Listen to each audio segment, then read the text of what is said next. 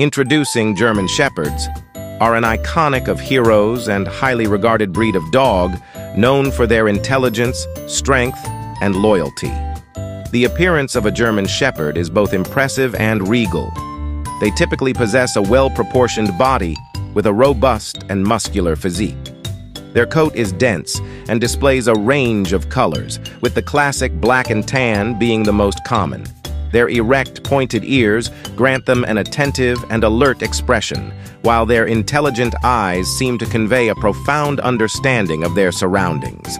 What truly distinguishes German Shepherds is their exceptional intelligence and adaptability. German Shepherds delight in spending quality time with their families, whether it involves outdoor activities, games of fetch, or simply lounging by their owner's side. Their versatile nature allows them to excel in various roles, from partnering with law enforcement to becoming beloved family pets.